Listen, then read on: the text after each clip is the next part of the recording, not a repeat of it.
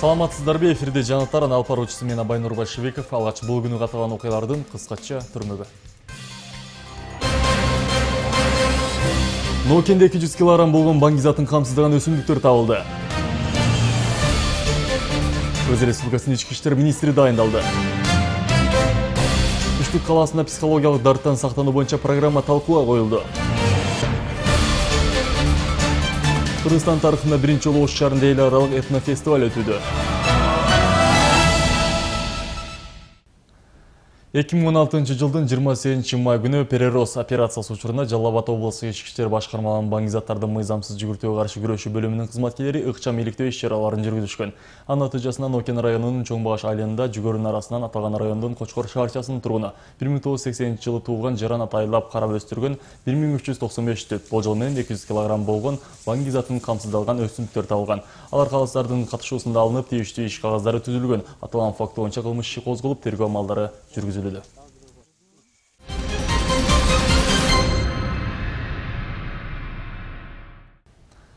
Бүгін Қырғыз Республикасының президенті Алмазбек Атамбаев Америка Қошма Штаттарының демократия үшін өнөктөштүк комиссиясының төрағасы Конгрессчи Питер Роскан башчылык кылган делегация менен жолукту. Анда Кыргыз Америкалык парламенттер аралык кызматташтыгынын маселелери талкууланды. Кыргызстан парламентинин ишмердигин мындан ары жакшыртуу жана анын ролун арттыруу ошондой эле өлкөдө демократияны чыңдоо үчүн Жогорку Кеңеш менен АКШ Конгрессинин ортосунда өз ара аракеттешүүнүн активдештирүүнүн маанилүү экендигин баса белгиледи. Ошондой эле өлкө башчысы Евразиялык экономикалык биримдиги жана Вьетнамдын ортосунда эркин соода жүргүзүү боюнча келишим мыйзамга кол койду. Макулдашууну ратификациялоо 90%дын ашык товардык позициялар боюнча эркин соода режимин камсыз кылат. Алымдарды жокко чыгаруу жана рынокторго кирүү режимин бошотуу эки баскыч менен жүргүзүлөт. Товардык позициялардын биринчи баскычы макулдашуу күчүнө киргенден башталат. Экинчи баскыч кыска өткөл мезгили ичинде болот. Макулдашуу товарларды, кызматтарды соодалап, бажылык администрациялоо, соодадагы техникалык тоскоолдуктар, санитардык жана фитосанитардык чаралар, инвесторлор киргизген капиталдык салымдар интеллектуалдык менчик мамлекеттик сатып алуулар атаандаштык туруктуу өнүгүү электрондук соода маселелерин камтыйт. Ошондой эле президент атамбаев кол койгон жарлыкка ылайык жунушалиев кашкар астакан чумурда жүктөлгөн милдеттерин аткаруудан бошотулуп кыргыз республикасынын ички иштер министри болуп дайындалды. Жунушалиевди шаршембиде жогорку кеңеш депутаттары министрликке бекиткен буга чейин бишкек шаардык милициясын жетектеген кашкар жунушалиев отузунчу майда кызматынан кеткен мелис турганбаевдин ордуна дайындалды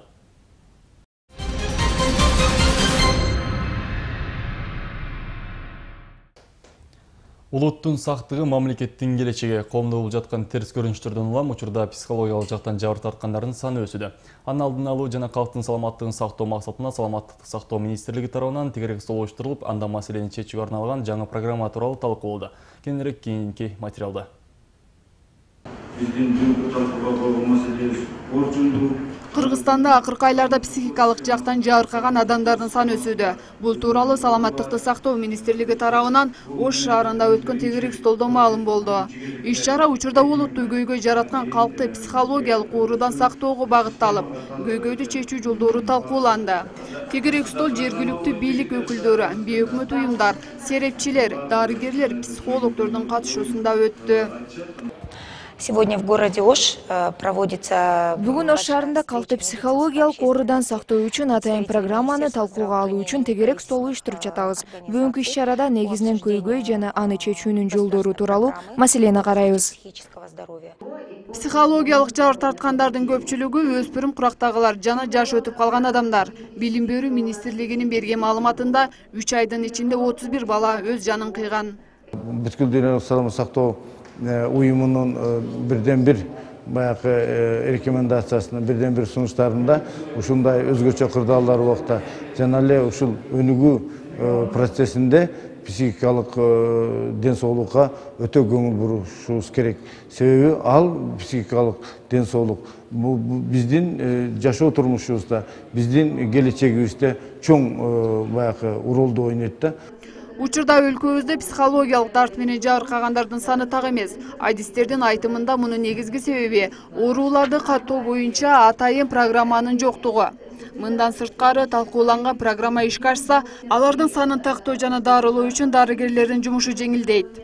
Ошо ооруларды алдыга алыш үчүн эң биринчиден бул коомчулукка дагы мамлекетке дагы билим керек да. Ошо психикалык саламаттык кандай таасирден бузулушу мүмкүн. Эң биринчиден бул билим. Экинчиден бул адамды зордук зомбулуктан сакташ керек. Ар түрлүү үчүнчүдөн башка социалдык проблемаларды чечиш керек. Бул жакырчылык миграция ошондой эмелер баары психикалык саламатка чоң залака түшүрөт да. Программа алгач ирет ош шаарында талкууланды. Андан соң жалал абад баткен областтарында уланат. Аягында борбор калабыз бишкекте талкууга коюлуп жыйынтыгы чыгарылат. Ошондо анын канчалык деңгээлде ишке ашырылышы маалым болот. Айкүмүш зайырбек кызы бектеми акылбек уулу ош бирим жаңылыктары ал эми кезекти дүйнөдө болуп жаткан окуяларга беребиз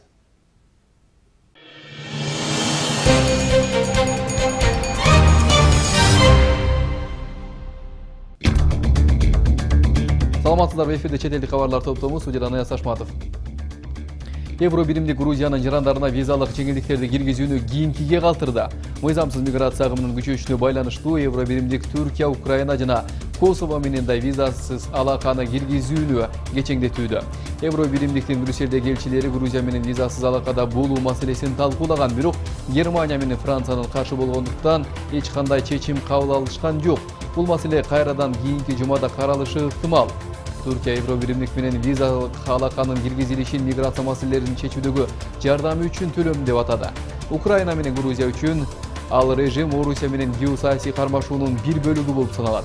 Косово болсо батыш балкан өлкөлөрүнүн ичинен визасыз режим киргизилген акыркы мамлекет болуп калмакчы.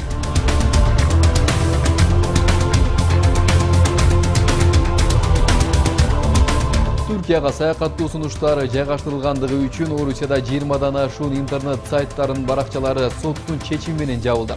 Бул тууралуу bbc маалымдайт. Интернет сайттарга чектөө киргизүү боюнча доо арызды роспотребнадзор берген сайттар владимир путиндин туркияга экономикалык ал эми жарандарына визалык санкция киргизүү боюнча өткөн жылдын ноябрында кол койгон жарлыгынын негизинде жабылды. Сот түркия турлары туурасындагы маалыматтарды мыйзамсыз деп мүнөздөп анын доо арызын канааттандырды. Өткөн жылы түркия аскердик аба күчтөрү су жыйырма төрт м учагын атып түшүргөндөн кийин москва жана анкара ортосундагы мамиле кескин солгундаган анкара учак түрк аба мекендигине кирип кеткендигин бир нече жолу эскертүүгө жооп бербегендигин айтып келет украинанын жогорку радасы петр порошенконун офшордогу эсептери жөнүндөгү маалыматты иликтөө үчүн комиссия түзүүдөн баш тартты. Украин парламентинин сайты кабарлагандай керектүү эки жүз жыйырма алты добуштун ичинен бир жүз сегиз макул каршы деген пикир билдирген дагы бир жүз он беш депутат добуш берген жок батьковщина фракциясынын өкүлү надежда савченко жогорку раданын депутаттарынан тоо келтирип элден кечирим суроого чакырды анын айтымында порошенконун украина улуттук банкынын башчысынын каржы министринин жана башка жогорку даражадагы аткаминерлердин офшордук эсептерин текшерүү азыркы бийликтин калк алдында жасай турган биринчи иши жогорку раданы ал титаникке салыштырды.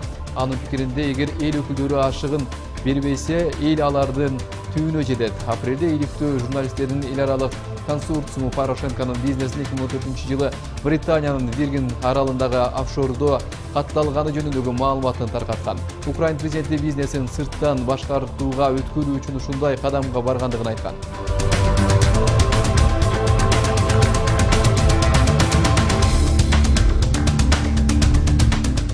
акш тарабынан колдоого алынган күрд жана араб топтору террордук топко каршы сириянын түндүк бөлүгүндө жаңы фронт ачышты. Сириялык күрдтөр түркия менен чек арадагы экстремисттик топ басып алган манбиш шаарына жакындап калышканын жарыялады. Маалыматка караганда алар согушкерлердин бир катар маанилүү позицияларын ээлеп азыр андан он беш чакырым алыс аймакта турушат. Бул шаар согушкерлердин штабы жайгашкан ракка калаасына баруу үчүн маанилүү пункт болуп саналат. Мындан тышкары манбиж менен анын чекпели экстремисттик топ көзөмөлдөгөн акыркы чек ара аймагы буга байланыштуу аны жоготуу террорчуларга чоң сокку болоору болжолдонуп жатат. Күрдтөрдүн аталган шаарга чабуулун абадан америкалык авиация колдоого алган. Syrian observatory for human rights уюмунун маалыматына караганда аба соккуларынан улам он беш жайкын жашоочу көз жумган турак жай көз боемочулугу менен алектенгендиги үчүн камакка алынган мирокс групп компаниясынын мурдагы башчысы ишкер сергей полонский ольга дерипаска менен баш кошту үйлөнүү үлпөтү москвадагы матруская тишина тергөө абагында өттү. Бул туурасында дерипаска фейсбуктагы баракчасына жазды. Түбөлүккө кол кармашууну полонский балучок түгөйүнү сотто сунуштап кагаздан шакек берген. Никелик каттоо учурунда ольга дерипаска күйөөсүнүн фамилиясын алды. Ал өмүрлүк жолдошунун эркиндиги үчүн аягына чейин күрөшө тургандыгын билдирди. Жыйырма төртүнчү майда полонскийдин жазасын жумшартуу өтүнүүчү кулдуу тапкан эмес. Полонский камбоджадан эки миң он бешинчи жылдын май айында кайтарылган. Аны матроска тишина тергөө абагына жайгаштырышкан.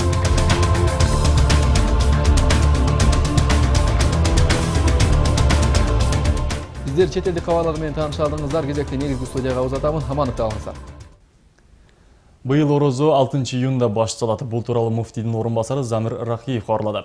Анын айтымында дүйшөмбү Рамазан айынын алгачкы күнү деп бүтүнгө келишти. Ушул күндүн тарта 30 күн бою мусулмандар таң аткандан күн батканга чейин нар тартпай, мусулманчылыктын 5 парызынын бирин аткарышат. Ал эми орозу айт 5 июлда болот деп болжолдонууда. Кыргызстандын тарыхында биринчи жолу Ош шаарында эл аралык этнофестиваль өтүүдө. Элибиздин тарыхын, маданиятын даңазалоо максатында уюштурулган салтанатка өлкөнүн жети дубанынан жана коңшулаш мамлекеттерден коноктор келишкен. Тарых жана маданият жылына карата демилгеленген самбалыктын жүрүшүнөн кененирээк кесиптешим Кенжебү Мамат Садыков айтып берет.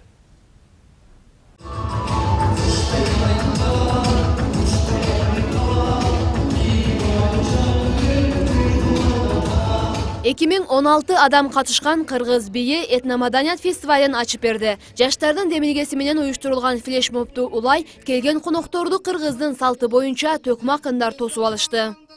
Бүгүн өтүп жаткан кезеге этнофестиваль дейт экен маданият жылында таалайлуу элдин майрамы.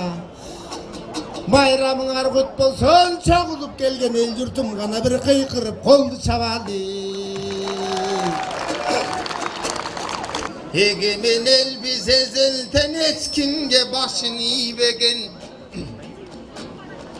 аламдын элин кыдырсаң адам жок бизди билбеген ырдагың келет турбайбы жаркырап турган күн менен ырдагың келет турбайбы атадан калган үн менен рамазандын башында үч акын чыгып кашыңда куттуктап алгач кетейин бүгүнкү сонун карачы кирип бир келген күн менен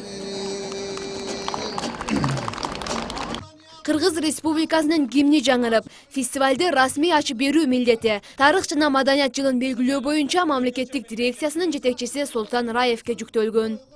Сиздерди бүгүнкү биринчи эл аралык этно маданият фестивалі менен чын жүрөктөн куттуктайм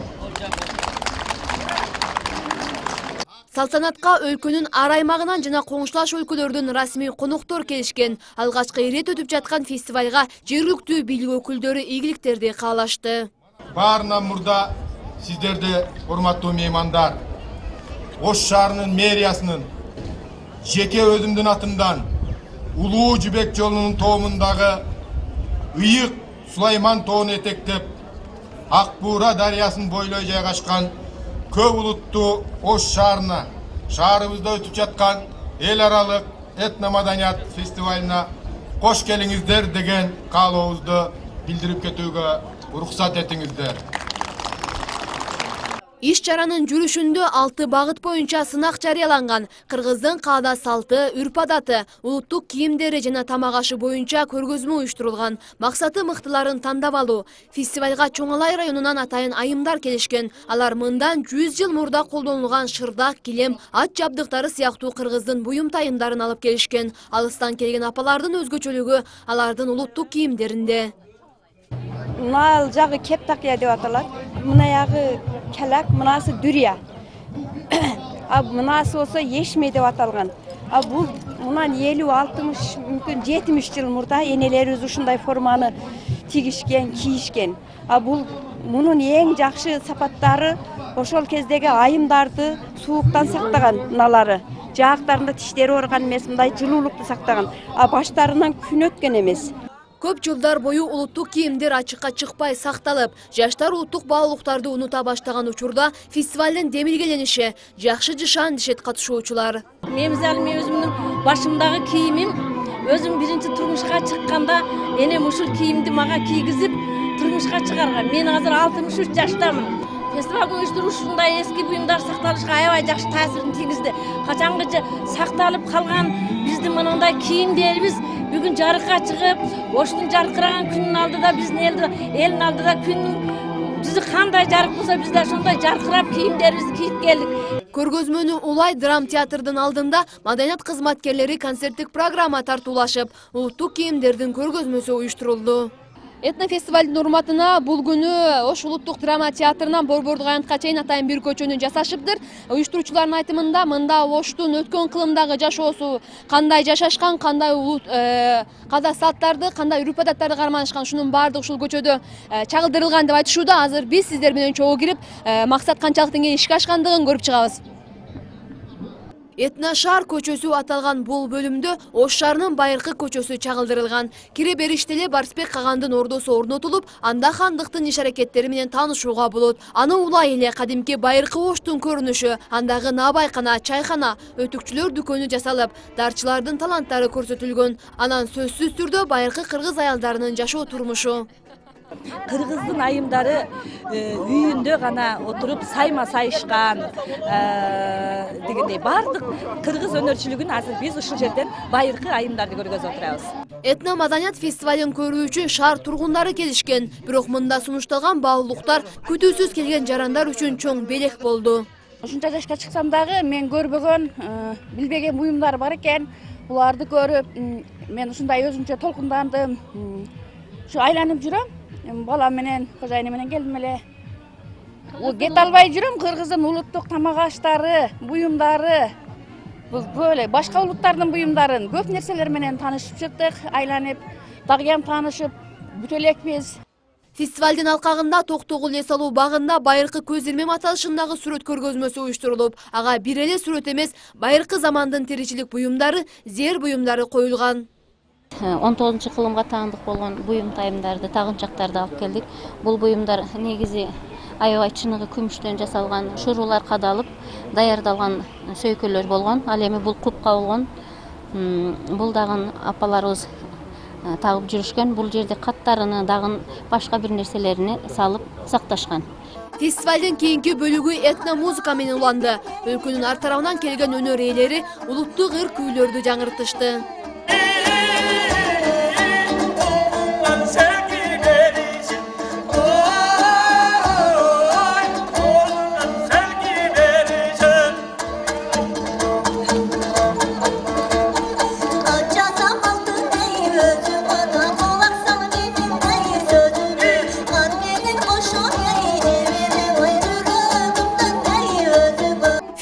деп аталганы менен улуттук каада салтты даңазалаган иш чара сынак иретинде өтүүдө анда ар бир багыт атайын калыстар тобу шайланган эми алар катышуучулардын мыктысын тандап көчмөндөр оюна жолдомо беришет. Кенжебүй маматсадыкова талгат акылбек уулу ош берим жаңылыктары борбордук аянттагы иш чараны улай алымбек эс алуу багында кыргыз элинин каада салттары көрсөтүлдү. Өлкөнүн аймагынан келген катышуучулар тушоо кесүү бешикке бөлүү кыз узатуу куда тосуу сыяктуу үрп адаттарды көрсөтүштү. Казакстан тажикстан сыяктуу коңшулаш өлкөлөрдөн келген конокторго жаш жигиттер улуттук оюндардан өзүндү көрсөтүп беришти. Уюштуруучулардын айтымында эртең дагы ушундай эле көрүнүш шаар тургундарына тартууланмакчы. Этно фестивалдын негизги максаты ушул улуу муун ата бабаларыбыздан калган ата салттын ата мурасын улантып кийинки муунга сындырбастан өткөрүп берүү. Бул жактан албетте ушул эң негизги багыттардын бири кийинки муунду ушул ата бабанын салты менен ата бабанын ушул тарыхындагы ушул адамдык улуу сапаттары менен тарбиялоо ушул анан элге жерге кызмат кылуу адамгерчиликтүү болуу салтын унутпоо деген сыяктуу да. Анткени тарыхы болбой эл болбойт деп айткандай эле маданиятсыз деле эл болбойт кыргыз элибиз илгертен маданиятты туу тутуп ырга күүгө бийге салтка жакын болгон эл ошондуктан ушул иш чаралардын негизги максаты ушул кийинки муунга ошол мурасты өткөрүп берүү.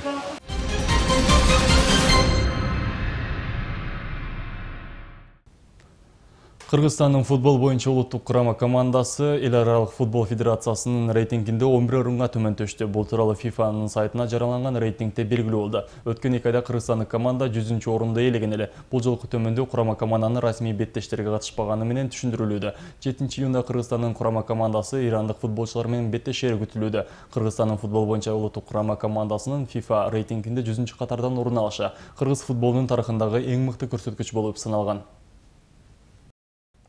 Сіздер ош бірім жаңалықтарын көрдіңіздер, алдыда ММК-да жана бара менен таанышууларыңыздар кечиңиздер көңүлдүү улансын. Жагымдуу жаңалықтар менен учурашалы.